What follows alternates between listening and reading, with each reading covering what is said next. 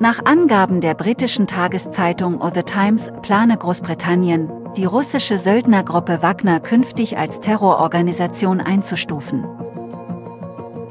Dadurch soll sich der Druck auf Russland erhöhen. Für die Wagner-Anhänger könnten finanzielle Sanktionen und andere Strafen folgen.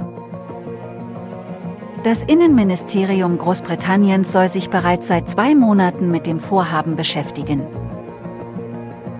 Wie The Times überrichtet, stehe ein Verbot der Wagner-Gruppe unmittelbar bevor.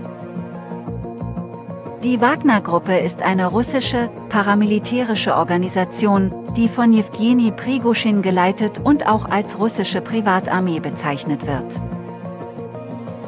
Die Söldner führen den seit Monaten andauernden Kampf in Bachmut an und sollen an unzähligen Kriegsverbrechen beteiligt sein.